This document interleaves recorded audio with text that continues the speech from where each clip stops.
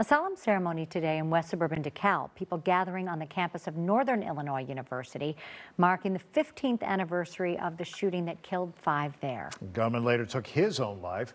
And WGN's Julian Cruz joins us now from DeKalb. Good evening. The university community honoring the five who were shot and killed and the 17 others who were wounded in that terrible attack 15 years ago to the day. You do what you can to overcome it. For me, I've written a book. It's titled One Shot, One Life. Shooting survivor Harold Ing writing a book to come to terms with the tragedy. You could say that was a kind of like a dream because, like I said, it happened so fast. Ing surviving with a non life threatening wound, but the emotional toll for him harder to cope with. Why did it happen? Like, you don't expect it to.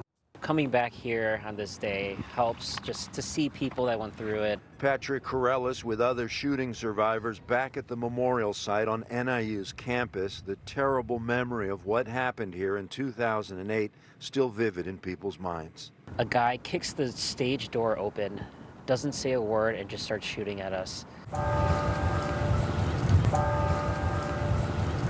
Bells ringing at precisely 3.06 p.m., the very moment when gunman Steven Kazmierczak opened fire 15 years ago to the day, killing five, wounding 17 others, the gunman then taking his own life. I remember where I was sitting, I remember where I was shot, uh, when I started bleeding.